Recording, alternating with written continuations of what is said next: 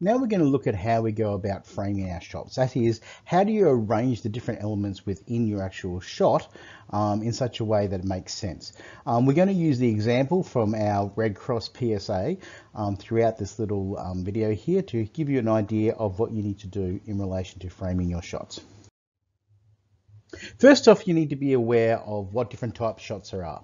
You can be further or closer to your subject, and you can see here on this screen, it gives you an idea of the different types of shots that can actually appear.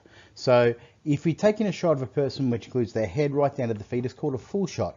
You go through the medium, full, the medium shot, tight medium, close up, um, um, loose close up and extreme close up is a very, very close in one. So we'll go have a look at each one of these through our, from our PSA example.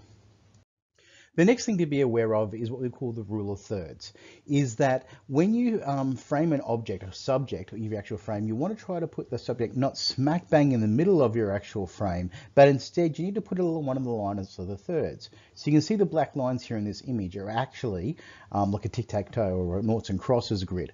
And where they intersect is actually the strongest points to actually put a subject. So you can see here this little silhouette of a boy in the clouds in the background that he is upon what we call the left left hand third and you have the right hand third and you can be in different locations. So we're going to look through the rest of this here, some PSA um, examples. We're going to look at first off the actual shot type as well as how they're actually situated within the thirds.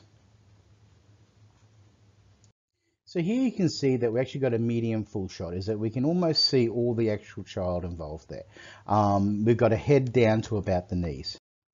If we all have also have a look here, we can see that her head, which is the subject, we're taking a, um, an image of an actual person. The head is the subject, and the subject is along that top rule of thirds, line of thirds there.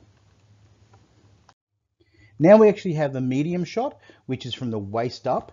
Um, and again, we have the different parts of the object, but the subject is the boy who's talking to the camera on the left hand, the right, left hand side there. So if we look that the subject again is along that line of thirds. So he's on the left hand line of thirds there. Now we have a tight medium moves in close and we can't see the girl's waist, so therefore this is getting a little bit closer in. Um, and if we look again, this girl is on the right hand line of thirds and her face is on that intersection, which is a really, really strong point. Um, we've got a loose close-up, which again is about the waist upwards um, or above the waist upwards there. And we can see that the here is approximately on the left-hand side of um, the left-hand rule of thirds, line of thirds.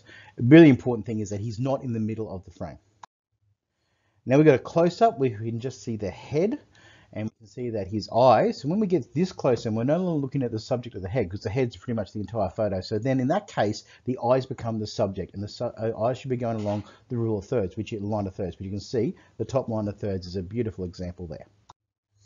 And finally, we've got an extreme close-up, which is you can't even see the person's top of their head. You can just see their chin and their eyes. And again, those eyes are above, but are close to the rule of thirds and the top thirds there.